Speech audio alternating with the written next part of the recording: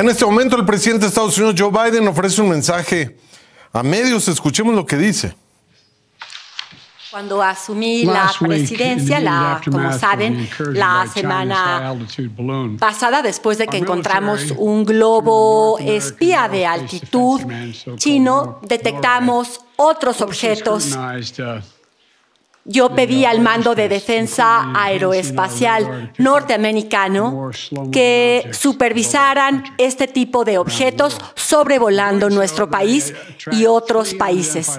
En ese momento se detectaron ya otros tres objetos, uno sobre Alaska, uno sobre Canadá y otro sobre el lago Hurón.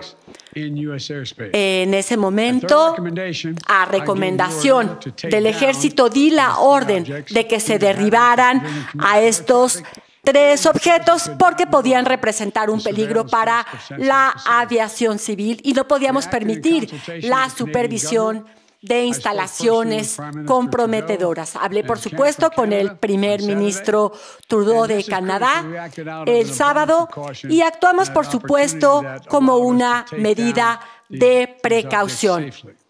Además de que así pudimos derribar a estos tres objetos de manera segura. Tanto el ejército de Canadá como nuestro ejército están en los esfuerzos de recuperación de estos objetos para que podamos hacer un análisis a fondo.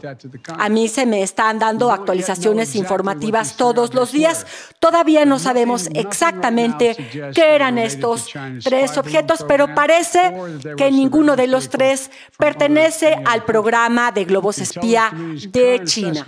Actualmente nuestras agencias de inteligencia creen que estos tres objetos pertenecen a compañías privadas, a instituciones de investigación o alguna actividad recreativa.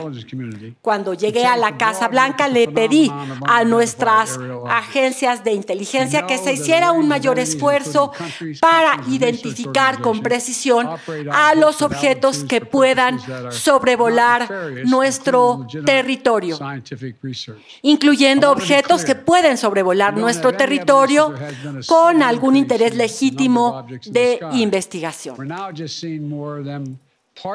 Algo que debemos subrayar es que hemos detectado más objetos sobre nuestro territorio porque estamos poniendo más atención en estos esfuerzos. Y porque tenemos que desarrollar algún protocolo de respuesta a este fenómeno.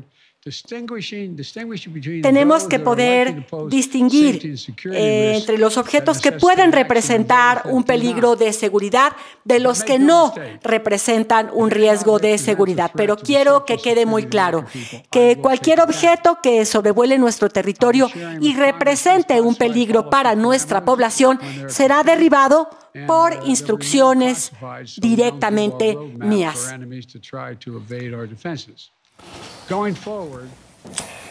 Bueno, pues han sido las palabras del presidente de Estados Unidos en relación a estos objetos que se han visto sobrevolando el espacio aéreo estadounidense y que han sido derribados por órdenes del presidente de